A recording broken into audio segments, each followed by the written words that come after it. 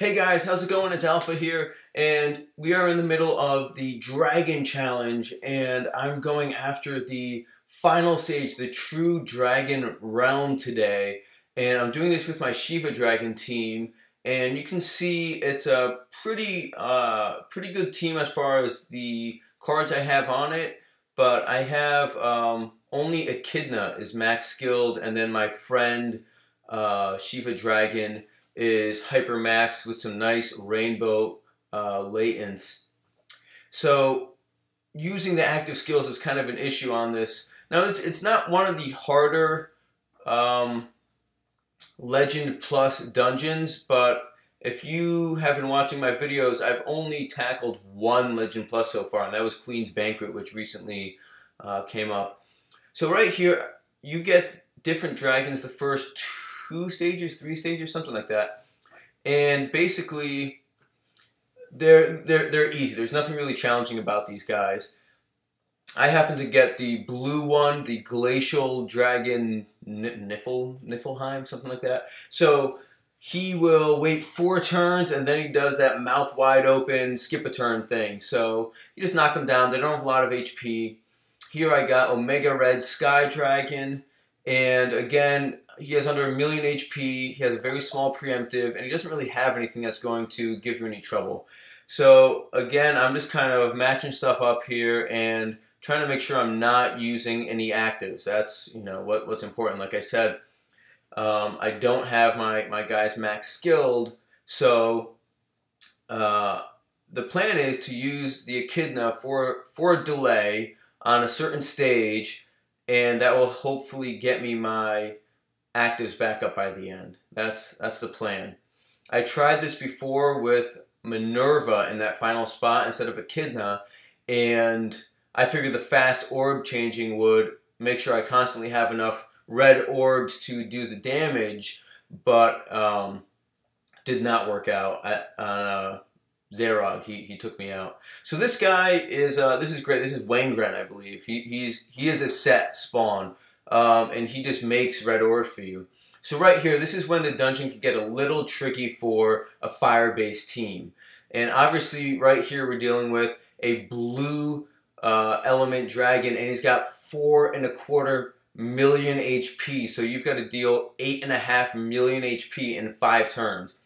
So this is actually exactly why I brought the Echidna because I'm able to uh, stall through here and you can see I'm doing a decent amount of damage but not too much. And I kind of make a, a, a, dumb move here in a moment. But the plan is to use up all these turns. By then Echidna will almost be back up using the Shiva Dragon Haste. I could have her back up next next stage if I needed to. But I was looking at I wasn't doing a lot of damage. I didn't want to risk getting close and having to do um, my actives last second. So I figured, okay, I'm going to pop an active here, do some damage, get, get him down a bit, and then milk out the rest of the turns, and I'd be able to have my Sanada back up. Uh, unfortunately, I kind of underestimated the amount of damage that a row of um, enhanced orbs with some skyfalls to boot, uh, and he's uh, he he goes away, and I wasted five turns there. So that was my first kind of big big mistake there, but wasn't horrible. I still have most of my actives up, and you know with Shiva Dragon's haste, it does kind of get you out of a jam when you need it. So this guy's a pain in the ass. Uh, I forget his name. Stormwing Dragon. Uh, 3D. That's 3D. Okay. So he's got 5 million HP, which isn't that much because he has green element but he's just constantly making jammers. He does a decent amount of damage, around 10,000, makes jammers. He'll do that two times. Um, I, I, believe it's two times in a row. Then he hits for 20,600. And if you look at the team I brought, of course, I'm a few plus eggs shy of having 20,600. I'm at 20,500. So that would be a kill shot for me. So once again, I decide that I'm going to use an active here. And I'm kind of, I'm using them quite a bit but I'm counting on the fact that my echidna will be back up and I should be able to, that was stupid right there. I matched up my TPA um, at the end. I just kind of stupidly put that last fire orb I was moving with, but it was enough damage. I was able to get uh, get by him.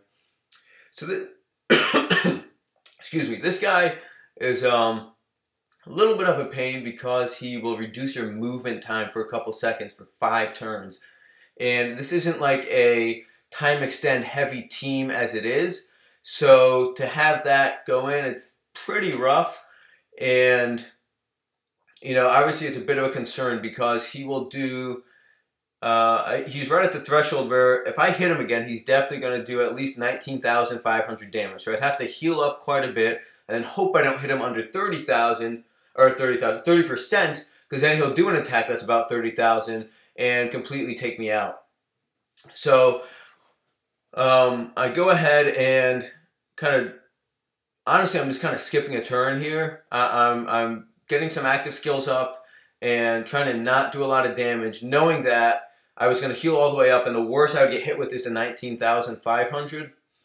And at this point, I have to go ahead and use uh, Yamato, which is not ideal, but uh, given the options I have, I'm just kind of deliberating if, if I should be using my actives at this point right before the boss. It's pretty uh, questionable. But I go ahead, make, an, uh, make a row, and again, with a reduced movement time, it's kind of tricky to get that off, but I pulled it off. So here I am with nothing but an echidna up. Um, now, uh, uh, what's his name? Zaerog, he will go two times when his absorb is up, which is going to be when his turn is up. He will change to another absorb, light and dark. So obviously dark isn't ideal because I have dark as the final sub attribute and I can't really get get out of that because that's what my you know what Shiva Dragon has. Um, but other than that, uh, you know, I'm, I'm pretty much in the clear. So what I'm doing here, honestly, is I'm just kind of stalling. I'm not doing much. So now I've got my Sanada Yukimura back up, and I'm thinking if I should pop this active, but, you know, just by checking out his turns, what I have coming up. So after this move, he's going to put another Absorb up. So I kind of get a free turn there. And now his next move is a 99% gravity. So once again, I'm not going to be get killed. And now I've got my big boom up. So Erd plus Sanada Yukimura is an amazing uh, attack here. And unfortunately, I've got um, not an ideal board, but it's not bad. I, I kind of messed up matching there.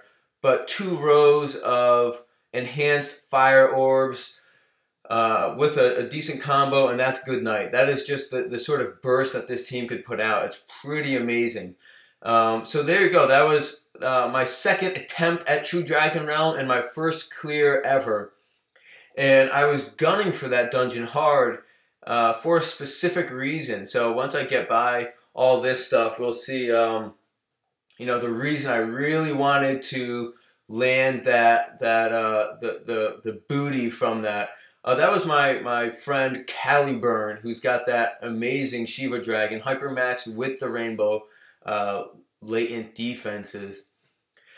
So, okay, my, my box is sitting so full because I have, um, I'm waiting on the two times skill up, which comes as a guerrilla today. So I gotta, I gotta get rid of some of this crap um, before I could open up my mail and all that.